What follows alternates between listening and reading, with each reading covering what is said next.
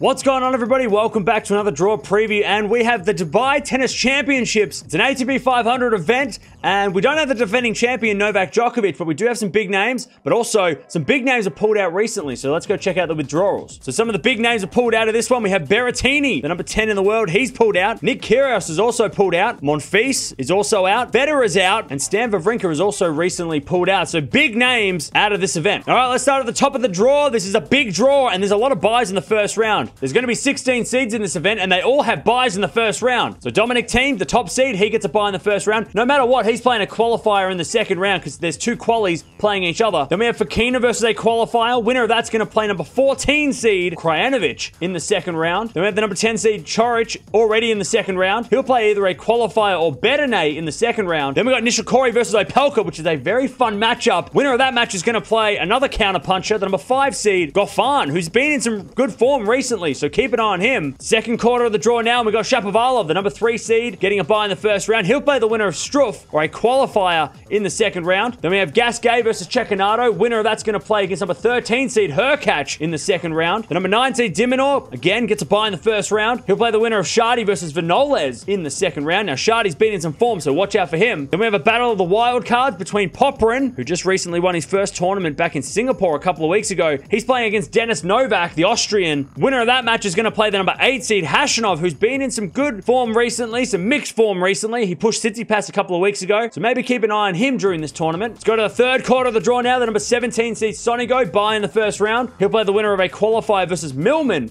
in the second round. Then we got the wild card Karatsev, and of course the Australian Open semi-finalist. He's playing. He's playing Gerasimov in the first round. Winner of that's going to play Dan Evans, the number 12 seed in the second round. Then we have Sinner, the number 16 seed, into the second round thanks to a bye. He'll play the winner of Nishioka versus Bublik, another player who's been in some form. Bublik, watch out for him. And then we already have a second round matchup confirmed. Ebden, who's played really well last week in Marseille, getting to the semi-finals there. He'll play the number four seed Bautista Agut, who got to the final of Doha last week. So already got a second round matchup lined up for this one. All right, the bottom quarter of the draw now, we have the number six seed Carreno Busta bye in the first round. He'll play the winner of Pospisil or Fucsovics in the second round. Then we got Jaziri, the wild card, versus Jo-Wilfried Tsonga, who came back last week to winning his first match in a couple of years. So he's feeling good. Winner of that match is going to play the number 11 seed Lajovic in the second round. Then we've got another second round matchup already confirmed. The number 15 seed Fritz against Basilashvili. And these two played last week in Doha. So we've got a replay straight away of the semi-finals of Doha last week in the second round. Then we've got a qualifier versus Thompson. Winner of that's going to play against number two seed Rublev, who had a very weird week last week. He was supposed to play two matches. Both were walkovers. He made the semi-finals without having to play a match. And then he lost in straight sets. But he did win the doubles last week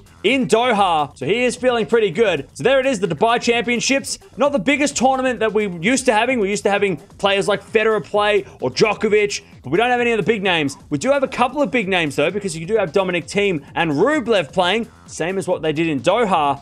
And there's a lot of byes in the first round. But let me know down in the comments below, who do you think is going to win this event? It's very wide open for me, just like Doha was last week. Very wide open, and I'm not sure who to pick. So this is a tough one for me to pick. There's a lot of seeds in this one, and a lot of players that are in form this year with titles under their belt. But I'm going to go with Dominic Thiem, the number one seed. I know that he's probably the easy pick, especially after last week, Rublev losing. I'm going to go with Team. I watched him play against Bautista Agut losing last week, and he looked great. Again, let me know down in the comments below, who's winning this event for you? So the Dubai Championships got some big names and some potential big matches in the later rounds.